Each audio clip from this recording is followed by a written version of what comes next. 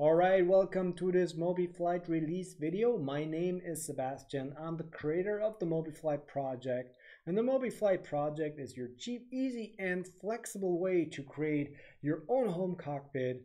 That means like interfacing real hardware with your favorite flight simulator, which means that can be FSX, Prepar3D, X-Plane, and now with the most recent version of MobiFlight 7.10, also uh, Microsoft Flight Simulator 2020. This is new, gorgeous, beautiful flight simulator that just got released a couple of weeks ago. So in this video, I'm going to talk about the most recent changes in MobiFlight uh, coming with release uh, 7.10. And uh, today I also got with me Captain Bear here and Ernie, the first officer, sitting with me at, uh, on my on my actual um, airliner uh, seat row. And um, let's head over to the website and take a look at what has changed. So here, the website mobiflight.com, you can always go here to the download area and you can get the most recent version if you have not installed any MobiFlight version just yet. And uh, it's totally for free, of course, it's an open source project. And uh, here beneath uh, on the same on the same page, there's also release notes that I always publish um, whenever I, I put out a new version. So let's take a quick look at uh, what's new, what got improved, and what kind of bugs I have been able to fix. Let's start with the new feature. As already said in the intro, we now support Microsoft Flight Simulator 2020. I mean, everyone in the flight simulator community has heard about it. It's been released. There was some trouble with the SimConnect interface in the beginning, but if you now update through the uh, to the latest version of Flight Simulator, if you get FSUIPC 7 beta from Pete Dowson's website for free, and if you use the most recent MobiFlight version, then you will be able to enjoy the um, easy like ease of use and uh, may, hopefully you can also use your configuration that you have uh, already put together. Hopefully you can right away interface your existing home cockpit or start out as a new home cockpit builder and enjoy like the stunning visuals of that Microsoft Flight Simulator together with this cool uh, feel of having actual hardware that you can interact with. So improvements 254. Uh, we now provide a visual feedback when you upload a new configuration to your MobiFlight module. So that actually means if we start MobiFlight um, there is visual feedback when you're starting up, what's going on, something is happening, there's a progress bar. If you upload a new firmware to the MobiFlight boards, you will have a progress bar that indicates the progress. Um, this was not the case for uh, like the situation when you upload a new configuration to your board, which has been also now added. So this is pretty cool. You now know, okay, um, upload is going on in the background. I have to be patient a little bit. And then once the progress bar is um, kind of filled, you will receive the feedback whether the upload has been successful or not. So I hope you like that one. The next one is resize the log window and enable scrolling. So that's a cool feature because it's not made by me, it's actually made by Iadi and he's from the MobiFlight community. He's a developer, full-time developer in real life and he said, I want to support you with your MobiFlight, really like the tool and I have the skills. So I kind of, yeah, he also figured out most of him, uh, most of it by himself and um, that means there's access to the code on Bitbucket. You can reach out to me anytime when you want to get started as a developer. If you have the skills, don't be shy, uh, reach out and we get you onboarded. Really cool. Let's take a look at how this actually um, looks like in the UI.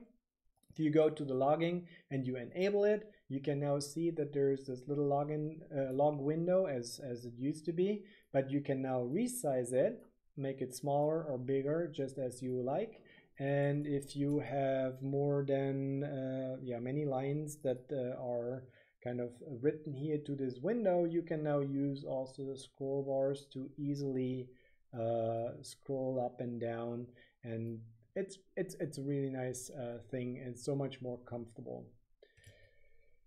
Um, comfortable to use. So 257 wider set value text field for the FSUIPC input action. That's the little thing. It's really, really not uh, so impressive, but it's still handy yeah, if you have it. So if you go to the input tab and then here to this input section, if you have an FSUIPC offset, this field now is just larger than it like wider yeah than it used to be. It used to be short in size and whenever you put a more complicated formula in there then it was really hard to read and it was not nice. So this should give us a little bit more room for more complexity and easier readability then 259 allowed for 68 buttons per mega board. That was a request from the community, and I think, uh, like, since I also implemented, I think they were right. So what was in the past there was a limit, like uh, I think it was 50, 54 buttons at the most. Uh, but uh, with the um, recent firmware, we also support up to 68 pins on the mega board, which now can be used uh, completely all the 68 pins can be used as a button which hopefully saves you some of the MobiFlight boards in your home cockpit. 260 indicate offline mode in the status bar. Well, um, as you can already see, my MobiFlight is currently set to offline mode that means I um, have enabled offline mode here that helps you sometimes, for example, in the case that you have a flight sim that doesn't uh, that doesn't support FSUIPC, but you still want to use MobiFlight to send keyboard commands to that flight sim, or if you just want to test your configuration, your input configuration. So then it's useful to enable offline mode, and you can uh, then turn turn on MobiFlight. You can let it run and in the past there was always an indicator down here that was saying there was a warning and that was kind of confusing so I added this and it's more clear now what uh, what's going on and that you can actually run MobiFlight in offline mode. The last one uh, in the improvement section is MobiFlight renders the grid very slowly when X-Plane is running. So this was something really annoying. Um, that whenever you had a game in the background, like your flight simulator, and you put a MobiFlight on top, the window on top of that window, MobiFlight would slow down tremendously, especially noticeably when you have um, a uh, a larger config, which means like a config with a lot of entries and a lot of config rows. And it was hard to navigate through those. It was hard to work with the drop down boxes and so on. And this is now fixed. So this has gone away. Uh, it's really fast now, and I hope you enjoy this. Um, I, I, bet you do because it's so much better now. Um, and the last one is 233 MobiFlight update mechanism fails. Um, this was something that was really bothering me during the last year because for me, the intention was to always provide a, a very, very easy user experience in terms, uh, also in relation to the update. So that means you up uh, you download MobiFlight once from the website, but then whenever you start MobiFlight, MobiFlight MobiFlight is going to check with the website if there's a new version um, released, and if so, the pop-up screen is going to tell you that the new version has been released. I, am going to show you this real quick.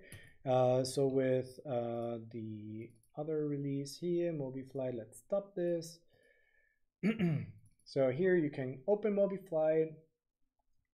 Once this is done, when everything is initialized, now it's supposed to actually check, but we can also check manually. And now it's going to say, oh, a new version of MobiFlight Connector is avail available. So here you can say update, it's downloaded, you can see there was a little screen and voila now we are running the most recent version. And this is now supposed to be stable. I hope it's stable for everyone. It, I really tested it a lot back and forth and I hope it's also going to work for you just as smoothly as it did for me here in the video. Okay so with this being the last item on this release notes list I want to uh, say thank you. Thanks for watching the release video. Thanks for being a part of the MobiFlight community. Thanks for uh, reaching out to us on the forum, uh, helping other people, also other users on the forums, on our Discord channel. And if you like MobiFlight and these videos, make sure you subscribe so that you always get a notification whenever I upload a new video. Um, go to your go to our website www.mobiflight.com. Uh, download MobiFlight for free create a user there, register, uh, get access to the forums and also to our Discord channel. So I hope to see you there soon. I hope you enjoy MobiFlight and I wish everyone many happy landings in their home cockpits um, wherever you fly to. Enjoy. Have a great have a great day. See you soon. Bye bye.